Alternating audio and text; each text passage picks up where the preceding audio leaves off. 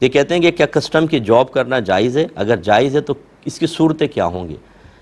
دیکھیں جاب تو یہ بالکل جائز ہے۔ آپ اس میں رشوت نہ لیں، آپ جھوٹے الزام نہ لگائیں، آپ ممنوع چیزوں کو نہ نکلنے دیں دیانت داری سے کام کریں، یہ ہوتا ہے بس کسٹم کے اندر۔ آپ اگر مطلب رشوتیں لے کر اور ممنوع چیزوں کو جانے دیں گے، یا کوئی رشتہ دار آ گیا تو جانے دیا، ورنہ نہیں، تو پھر آپ کی جاب میں فرق پڑے گا۔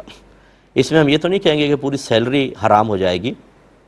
وہ کام حرام ہے، آپ کا جو آپ پرٹیکولر کر رہے ہیں، ورنہ یہ تو جائز بھی ہوتا ہے، اس میں بہت سارے آتے ہیں، لوگ آپ ان کو کلیئر کر رہے ہیں، تو پھر یہ تو جائز ہے نا اس کی سیلری یعنی مکس سیلری ہو جاتی ہے، جو حرام کام کریں گے اتنی سیلری حرام اور باقی جائز۔ لیکن اگر آپ بالکل دیانتداری کے ساتھ کرتے ہیں، جو رولز ہیں، آپ جب کوئی جاب جوائن کرتے ہیں، تو لازم بات ہے کہ آپ کو پورے رولز بتائے جاتے ہیں، آپ کے پیش نظر ہوتے ہیں کہ ہمیں کیا کرنا ہے اور کیا نہیں کرنا۔